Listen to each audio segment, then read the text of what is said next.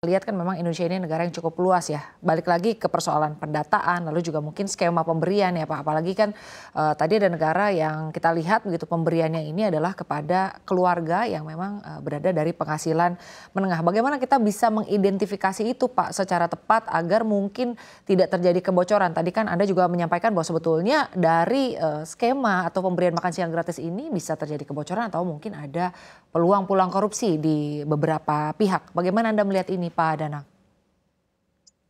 Iya Mbak, jadi konteks berpikirnya uh, kita tidak bisa begitu saja benchmark dengan negara-negara lain ya. Dan kita tahu di negara-negara tersebut kan melakukan program makan siang gratis kan ketika mereka sedang recovery pasca perang gitu. Dan itu beberapa uh, puluh tahun yang lalu. Jadi uh, pada saat itu memang terjadilah sebuah apa masalahnya kegentingan negara gitu ketika Eh, mendekati masa-masa recovery dari eh, masing-masing negara tersebut. Tapi di Indonesia saat ini kan berbeda dan tingkat pertumbuhan kita juga cukup baik ya 5,2 sekitar itu cukup baik lah. Artinya eh, apa namanya pemenuhan kebutuhan gizi itu berjalan eh, relevan dengan tingkat ekonomi atau purchasing power parity di masing-masing keluarga itu. Jadi kita harus melihatnya juga secara Eh, makro ya di angka-angka pertumbuhan ekonomi kita. Indeks gini kita juga relatif baik ya 0,3. Dan ini ini menjadi salah satu proses pemikiran bahwa me menyelenggarakan program makan siang gratis dan pem pemberian susu gratis mestinya diserahkan kepada daerah masing-masing yang memiliki uh, tingkat pertumbuhan ekonomi rendah atau indeks gini yang terlalu jomplang atau di situ terdapat prevalensi uh, prevalensi uh, stunting yang cukup tinggi. Kalau diambil alih oleh tingkat pemerintah tingkat pusat, itu jangkauan ke bawahnya jauh lebih uh, tidak terukur gitu. Nanti pendekatan transparansi dan akuntabilitas pemerintahan jadi korban di situ. Nah, maksud saya ketika kita berpikir tentang konteks keindonesiaan, bagaimana kita me mengajak masyarakat lokal di tingkat bawah untuk turut serta menyelenggarakan program yang terlanjur digembor-gemborkan di kampanye nih. Nah, ini menjadi salah satu bagian penting dari proses pemikiran uh, sehingga strata atau tingkat kewenangan dari pusat ke daerah itu bisa berjalan dengan baik, terutama di tingkat pedesaan ya saya juga kaget ketika mempelajari data-data bahwa di tingkat pemerintah seperti DKI Jakarta terdapat juga stunting. Ini menjadi satu yang menarik loh ya Mbak Erisa ya. Mengapa di DKI Jakarta dengan tingkat ekonomi yang relatif baik? Tapi ternyata kalau kita mau mendetilkan hal itu, pasti akan terdapat bahwa prevalensi stunting di tingkat-tingkat kota metropolitan terjadi di daerah yang relatif tidak maju ekonominya, agak kumuh misalnya begitu, atau agak agak terisolir dari program pembangunan yang ada. Nah ini detail terhadap target sasaran itu menjadi mutlak diperlukan sehingga kita tidak memboroskan anggaran 500 sekian triliun yang kemudian dipikirkan untuk apa namanya mengatasi stunting secara nasional tidak pasti akan bisa dilakukan satu pecahan-pecahan kecil di mana targeted itu menjadi jauh lebih penting sehingga akurasi anggaran itu menjadi uh, lebih baik gitu.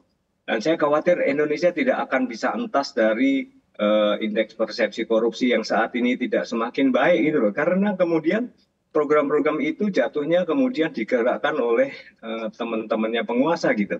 Yang akhirnya kemudian multiplier efek atau guliran ekonomi ke bawah itu tidak terjadi gitu karena dikelola oleh korporasi. Nah, ini Baik. menjadi salah satu concern besar kita.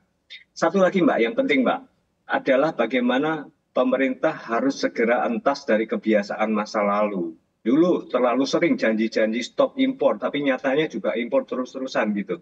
Nah ini harus mulai ditegaskan di pemerintahan transisi dan pemerintahan ke depan. Baik, terima kasih Pak Danang. Saya ingin ke Bu Elisa. Bu Elisa, kalau kita lihat ya, uh, atau mungkin mengamati sumber daya dalam negeri dari para produsen, petani, dan juga mungkin tata kelola pangan, apakah sebetulnya ini sudah uh, cukup atau sudah cukup bisa mensuplai cita-cita calon presiden baru tersebut? Realistiskah ini baik artinya secara anggaran, lalu juga kalau kita lihat kan uh, ada kemungkinan defisit ya untuk di tahun 2025. Bagaimana Anda melihat ini? Artinya apakah realisasi ini tetap bisa dijalankan namun bertahap atau seperti apa Bu Elisa? Ya, uh, sebetulnya kan memang kondisi tata kelola pangan kita ini juga masih belum baik ya, sehingga dengan tata kelola pangan yang belum dibenahi sekarang ini tuh berpotensi untuk memperparah karena dengan adanya program makan siang gratis ini. Jadi memang sebelum kita ke tadi yang kata Pak Dada yang bilang ini kan hilirisasi. Nah di hulunya ini juga harus dibenahi gitu.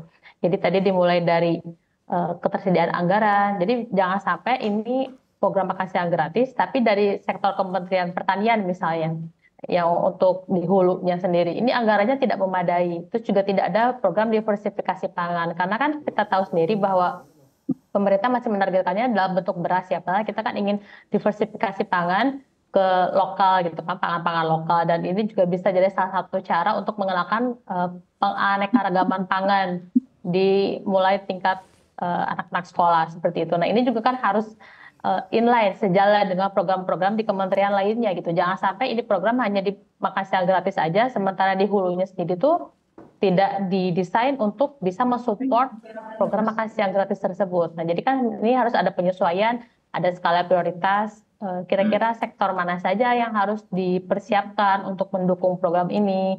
Anggarannya juga harus dicukupi jangan sampai anggarannya tidak memadai tapi diminta untuk optimal support itu kan nggak bisa ya. Jadi kalau misalnya dari hulunya sendiri tidak dibenahi, nah ini ujung-ujungnya nanti yang ditakutkan oleh para pengusaha adalah impor jadinya. Jadi ini tidak bisa dinikmati oleh masyarakat oleh masyarakat seperti itu. Nah, itu poin pertama bahwa memang ini harus sejalan dengan didukung dengan eh, program-program di kementerian lainnya gitu.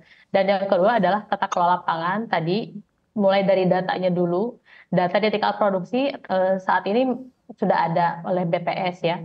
Nah, cuman untuk data pendistribusian seperti beras misalnya, kita tidak tahu beras yang ada di tingkat penggilingan di korporasi ini tuh stoknya ada berapa gitu. Gitu juga dengan komoditas-komoditas lainnya. Nah, kalau misalnya ada data setiap komoditas dari mulai hulu sampai hilir di setiap rantai pasok, ini kan akan memudahkan untuk pendistribusian. Ini juga akan menstabilkan harga karena kita tahu sendiri bahwa di Indonesia ini karena unik ya letak geografisnya, ada tantangan geografi tersendiri sehingga terjadi disparitas harga. Misalnya di daerah-daerah terpencil itu bisa saja harganya lebih mahal. Nah ini kan juga PR pemerintah dalam hal logistik juga. Kita tahu sendiri bahwa indeks logistik kita ini tahun 2023 ternyata turun uh, skornya dibandingkan dengan tahun 2018. Nah ini kan menandakan bahwa ada kemunduran dalam hal uh, logistik. Padahal kita jor-joran nih pemerintah 10 tahun terakhir membangun infrastruktur. Nah, ternyata tidak menyelesaikan persoalan logistik. Nah, ini kan juga PR nih, selain data, juga logistik, juga eh, yang ketiga tadi adalah eh, kesiapan SDM petani-petani dan peternak lokal kita. Ini jangan sampai mereka hanya diberikan angan-angan kosong saja, cuman tidak ada eh, support yang jelas dari pemerintah dan dalam hal ini pemerintah pusat dan daerah harus bersinergi dan kalau bisa ini melibatkan BUMDes. Nah, jadi setiap desa-desa inilah mereka melibatkan uh, BUMDes, juga Ibu PKK dan komunitas-komunitas lokal lainnya sehingga bisa menggerakkan perekonomian lokal. Karena kalau misalnya uh, kita tidak membangun lokal value chain di daerah tersebut, ini akan menambah beban biaya logistik distribusi di sini. Baik. Jangan sampai ini terjadi seperti itu.